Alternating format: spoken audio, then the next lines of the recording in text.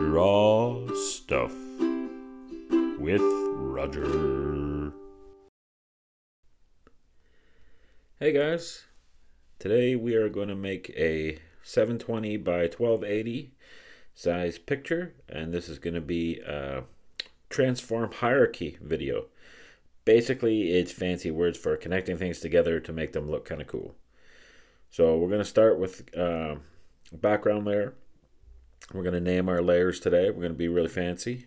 So we're going to call this background layer, give it some blue, and then we're going to maybe pick the right tool there. I'm going to show you, I, I generally use this one when I'm doing sketching. So here we go, making some mountains. And we're going to be kind of quick and fast with this process because we're not really worried about this. We're just making something that goes behind what we're making. So we're not going to be too stressed about what this looks like. And uh, it's just going to be a really kind of quick take on what we're doing. And I'm just making some mountains and making some snow. And when I color it in, you'll see that that's what it is. And really, there's not very much importance here because this is going to be um, kind of just muted in the background so it's it's not it's really there for reference so that when we look at the um, the thing we're going to create today then it kind of looks cool. So I like to smudge it out a little bit because it's going to be in the background. And I'll just smudge around the edges and you see how it kind of gives it that misty look? It's perfect for mountains because really what you want with mountains is not a lot of perfect definition because if you're looking at a mountain, you're usually looking from pretty far away. So it usually looks a, little rough or a little like kind of like behind the clouds, a little, just a little bit muted. So I'm going to try and clean it up a little bit here and just smush things around and pick a color and just go back in and kind of define things a little more. Now I'll go back and forth with this because sometimes I get a little particular. I could have just left it the way it was, and that would have been totally fine. Whatever kind of mountains you guys want to make are great as well. You can make purple mountains, blue mountains, green. Um, I'd advise you not to make too much blue mountains just because the sky is blue, but you can go ahead and do that if you want. And we're going to call this background.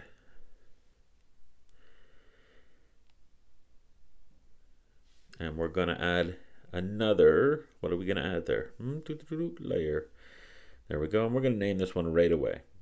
We're going to call it body because this is going to be the body of the uh, dragon we're going to do today. Now we're going to do a pretty simple dragon and when I do simple characters I like to start out with kind of an action line or a line to kind of depict where I'm going with the sketch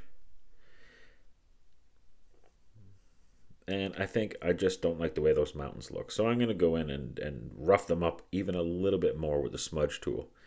So by that I just mean I'm going to make it look just a little more faded into the background. Because when you have clean lines, it makes things look close. So if you're doing any kind of animation or illustration work, clean lines are for the close things.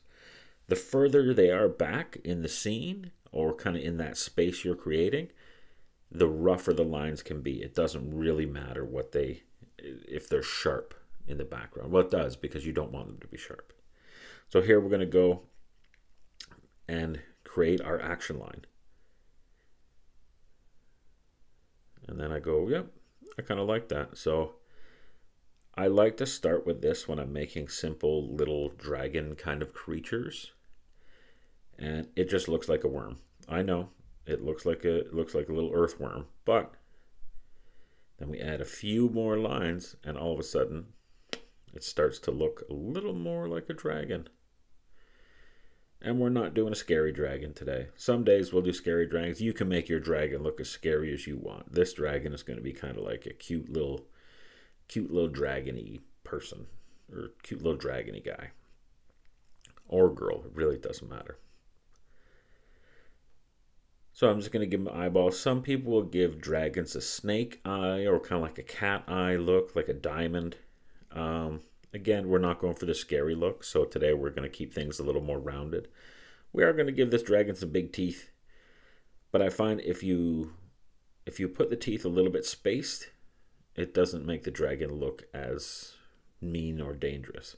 Now here's a trick I like to use. Watch it. If I tap on the pencil, it'll switch from eraser to the drawing tool that you have used. Now, a lot of art programs have this similar tap tool. Some people like it. You can shut it off and turn it on.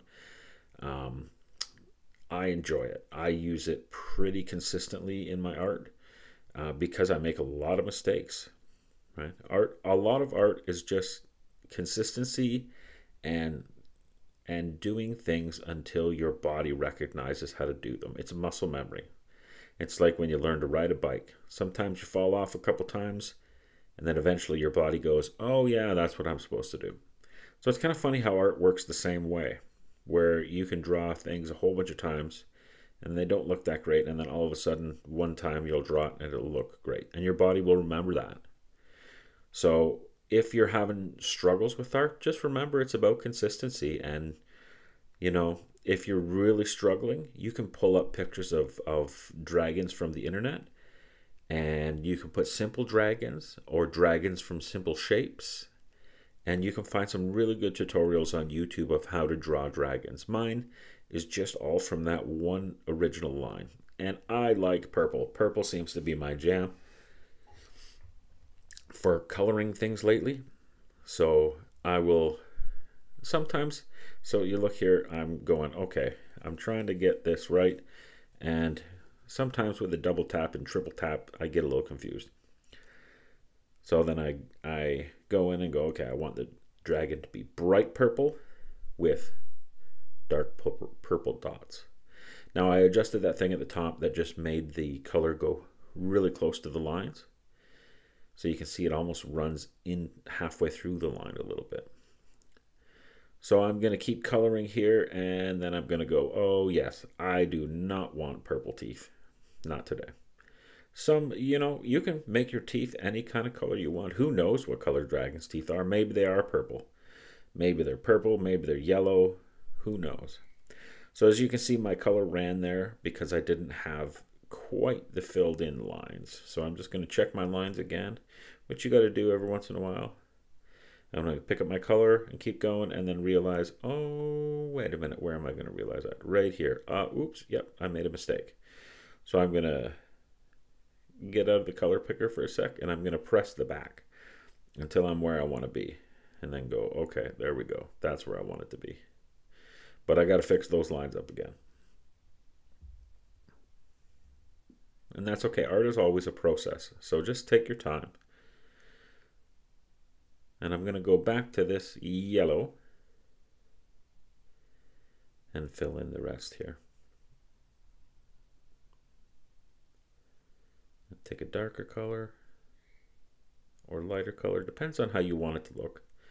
I always zoom out and then zoom back in and go, yeah, that's kind of the way I wanted it to look. Now the teeth, I'm going for whiter teeth. Sometimes I'll go for different colors, and sometimes in the eyeball I'll go for a different color. Now you'll see here, I'll be like, hmm, what color do we want in that eyeball? Then we're going to shoot for like an orangey red and go, yep, yep, nope, nope, not what I wanted. We're going to call that good. And we're going to work here with the another layer, and we're going to call this one the front wing.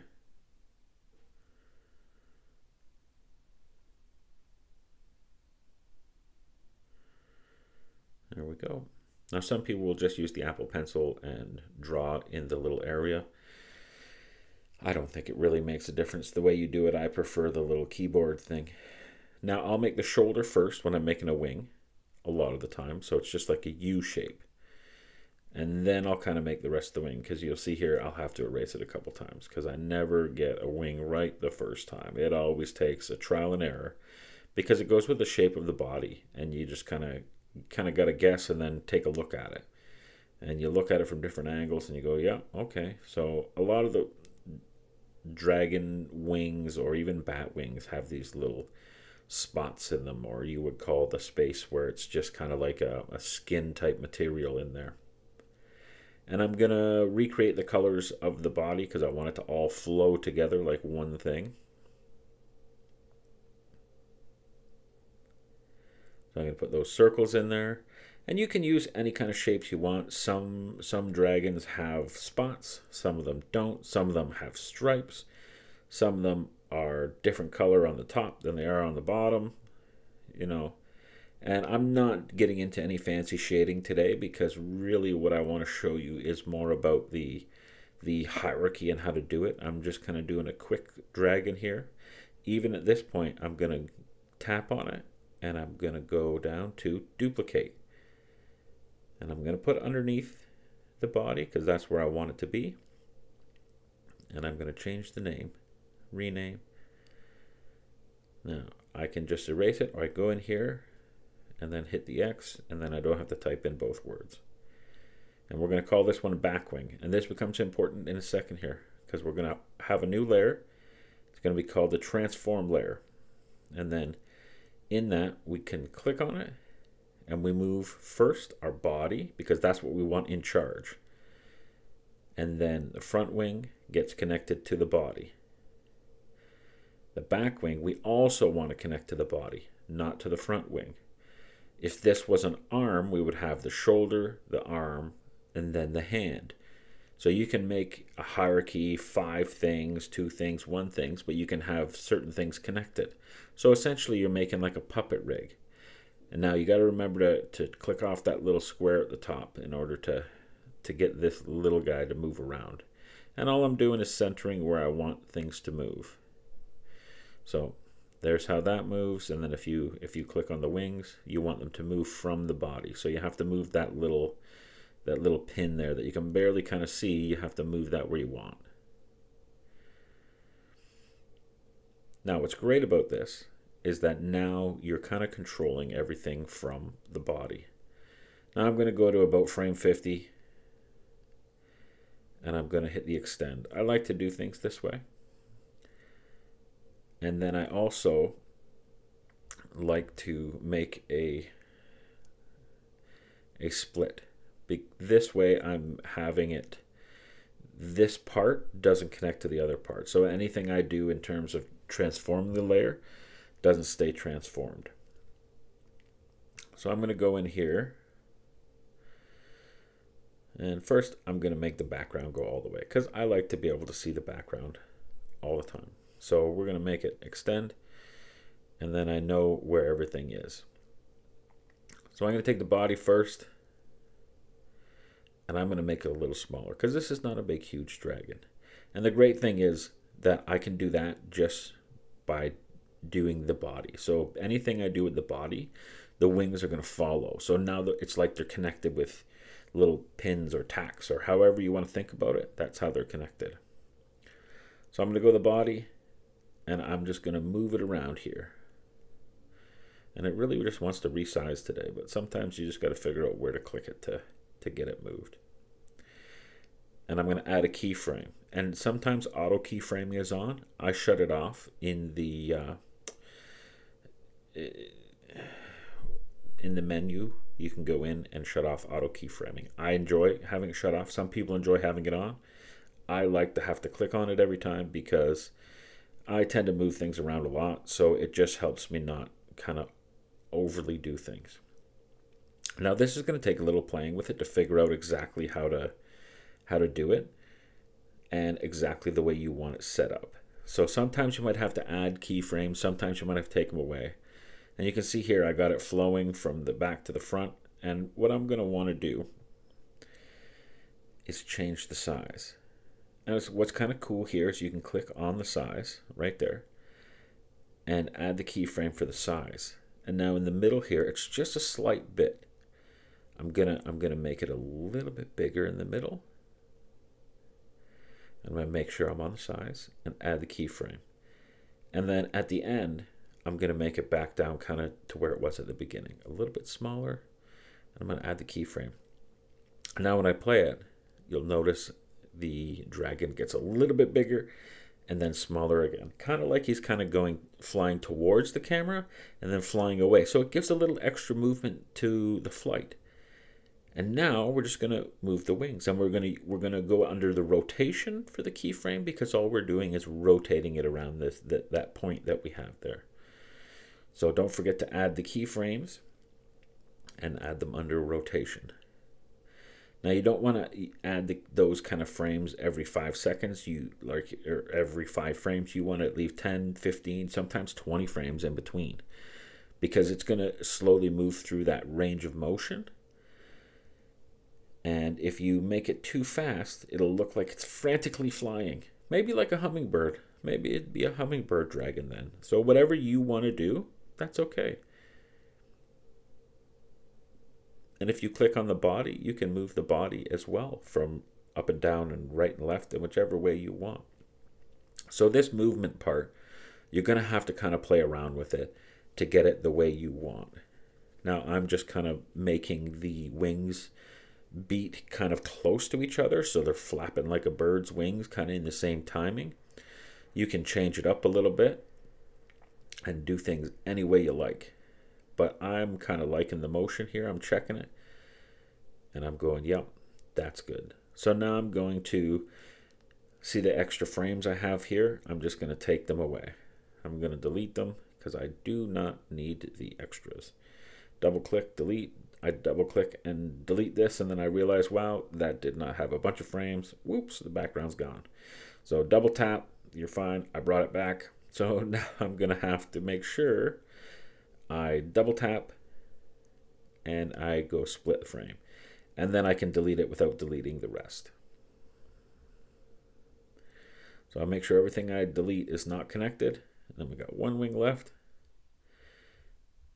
And there we go. Now, there it is. And if I hit that little rotating circle, and we can watch the whole thing over and over. I'm going to try and get it in the center frame here. And there you go, transform hierarchy or flappy wings. Whichever way you want to call it, now you know how to rig a character for movement. And you can use any kind of character you want for this. And it's kind of cool in that way. All right, thank you very much, and you guys have a great day.